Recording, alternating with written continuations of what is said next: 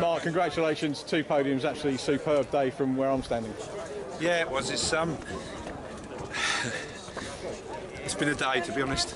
Yes, with the team and the effort and the pit stop and the, uh, to come here and be competitive today. It's like I said before, it was a dream. I didn't want to leave this place last time in the ambulance, so we had to we had to get out for today. Um, and to do what we've done today, I thought I was going to come here and just ride around at the back and not be competitive with the car and myself. So to do this today is special. It was a real great send off, wasn't it, both races? Yeah, exactly. I think both races, the crowd enjoyed it. Um, I don't think it'll be the last you see of us. That's good news, mate. We look forward to seeing you at Pembrey as well. Yeah, thank you very much. Cheers, Thanks Mark. Well done. having. Congratulations. Thank you. Thank you. Dale, fantastic way to, to end for you a podium here at Rockingham, particularly after race one.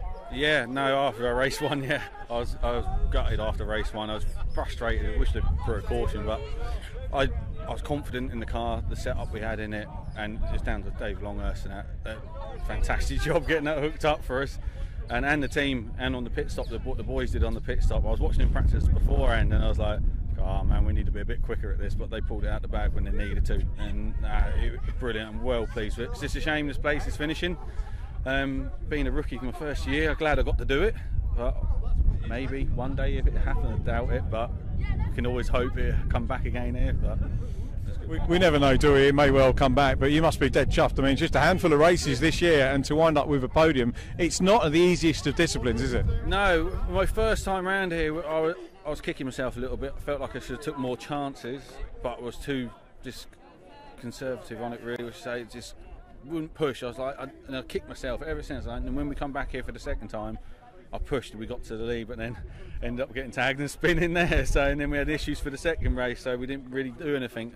And it was this last one here. I was like, we've got to go for this. We've got to push it out. And yeah, we've done it. I'm happy, pleased, well pleased. And the traditional pickup celebrations, I reckon you were probably the king of the donuts out there. was it? I, I was pretty, I was giving it a good go, and I was going to burn them up. So, but yeah, no, I, I like to see some of the videos of that, see what it was like.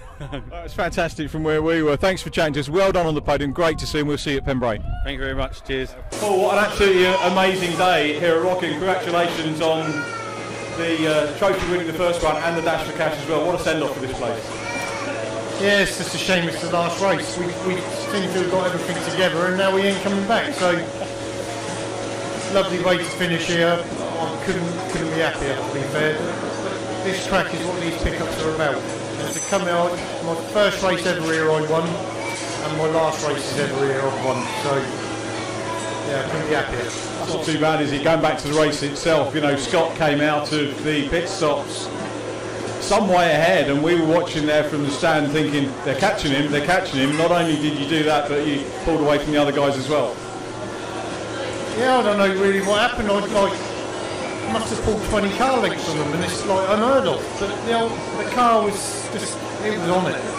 Um, Malcolm Blackman definitely knows what he's at, and that's all I can say. Because that car, I could not all day fault that car. But in the first race, it was a little bit had a little thing wrong with it, and I said to Malcolm, and he told me one little thing to do, and it transformed it. So, do you know what?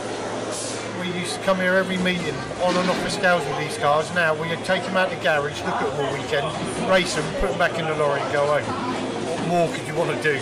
That's absolutely brilliant, isn't it? And uh, I guess a shout out to the, the pit crew who got you turned around with those tyre changes as well. That was great entertainment, and they did you proud.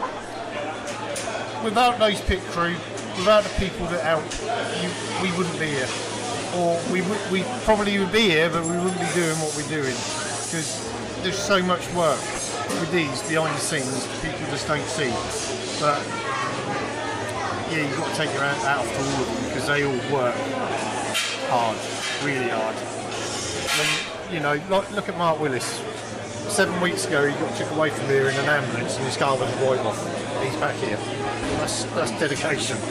It's proper racing. Um, super send off for the Rock. Hopefully, it ain't the last of this type of racing. We look forward to more oval racing and, of course, the road racing for the end of the year. But Paul Tompkins, many congratulations on the double. Thank you very much.